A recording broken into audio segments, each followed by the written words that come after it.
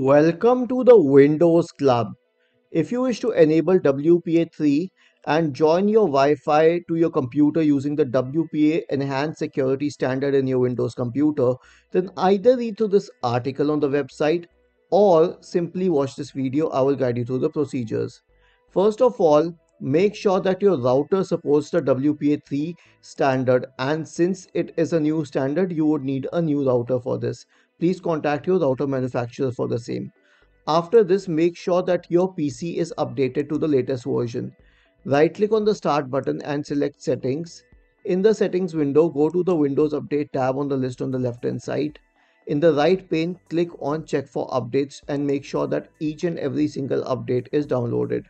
Lastly, your PC's adapter should have the ability to support this standard to verify this, copy this set of command lines here and press the Windows key and the R button together to open the run window.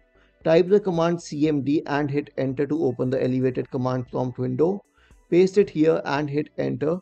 Now scroll down to this option which reads authentication and cipher supported in infrastructure mode and check all the standards which are here like as I keep scrolling I'll pass through WEP, WPA, WPA2 and the last one will be WPA3 personal and WPA3 enterprise which means that it is supported both for personal and enterprise based operating systems which means that my system is definitely supported.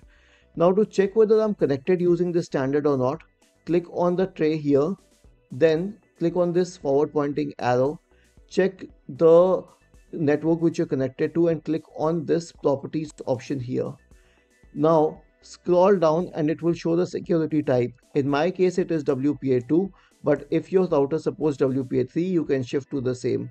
Isn't this easy and interesting? If you have any doubts please go to the original article on the Windows Club, scroll down to the comment section and write your query. We will surely answer to it. Do not forget to subscribe to the channel. Thank you for watching this video and have a nice day.